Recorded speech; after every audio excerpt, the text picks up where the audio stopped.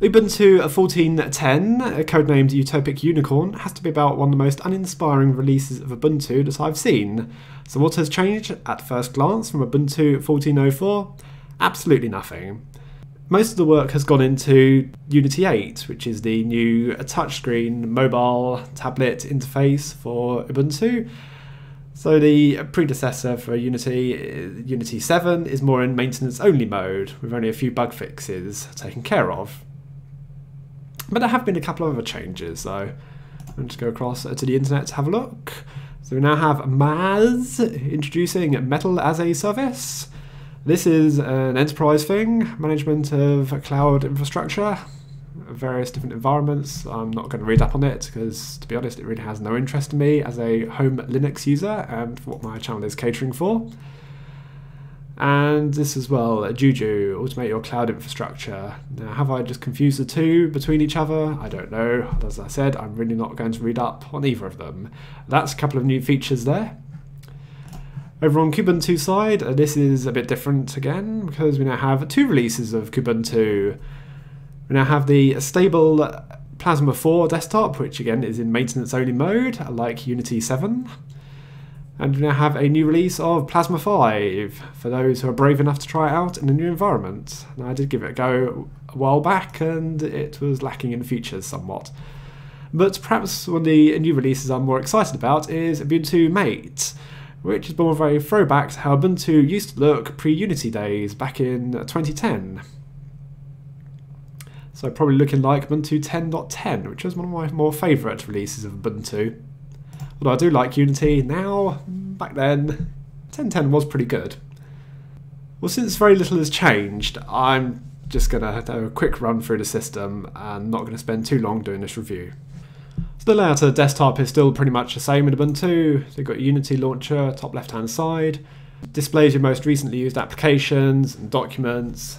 And if you do a search here, you can get internet results, which may or may not be useful. Know, it depends how you view it. It does slow down the searches, which is a bit annoying, so I tend to turn it off through the privacy tool. That does look quite a bit more presentable than the attempt that Windows 10 have made. Got shortcuts to all the applications here. And then on the right hand side, got shutdown menu, time calendar, volume, media player control, keyboard shortcut settings, and network. Now notice the boot up is slightly slower this time with Ubuntu, and it takes about a couple of seconds longer than 1404 used to. And memory usage seems quite chunky this time around. I've had this vary between about 500 to 550 meg at boot up before anything's opened. I think that's around 100 meg higher than it used to be. So there's a change, but no real reason for the change. LibreOffice has been uplifted. I think it was version 4.3.2. That's nice. Of course, you do get newer software with the later versions of Ubuntu, so if you do like to stay on the bleeding edge, that could be an incentive for you to move to this version. Uh, well, Firefox gets uplifted anyway in Ubuntu 14.04. But you do have the shorter support time, so that could be the difference between you choosing long-term support of Ubuntu 14.04, which is five years, or Ubuntu 14.10, which is 9 months. The styling is so limited now in Ubuntu that you can't move the close, minimize, and maximize buttons to the right hand side. You can change themes and wallpaper. Uh, yeah, we've got a new selection of wallpapers now. Very nice. But um, actually, that's not a bad wallpaper, that one. But there are a couple of features that you never used to be able to do in Ubuntu, that, such as putting the menus back in the window title bar that came around though in a version 1404, if you weren't aware of it already. And without much more to say, I'll just take a real quick glance through the applications. Uh, this is filter results, go to maximize on there, and what a faff that is now compared to Kubuntu.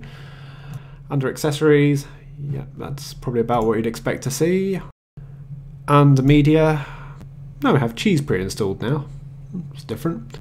Otherwise, you've got Rhythmbox for your audio player and Totem for your video player you do need to install the third-party codecs through the Ubuntu Restricted Extras package. On games, it's just a few small lightweight games. Internet, Thunderbird for email, Firefox for your web browser, and Transmission BitTorrent client. That icon for Canonical's browser looks so out of place there, doesn't it?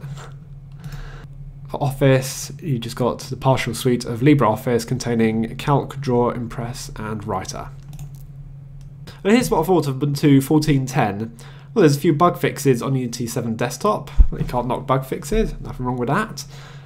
But there's not much real visible progress on Unity 7 desktop. Well, not really, because most of the work has been on Unity 8, as I point out down there. You've got a short support time of only 9 months, and there's still the limited flexibility on styling. If you want the bleeding edge software, go for Ubuntu 14.10. If you want stability, long-term support, take Ubuntu 14.04. There's your two choices there. Or try one of the other distros, there's a third option. Overall, I've given this distro a 70%. Thanks for watching, I'll see you all later.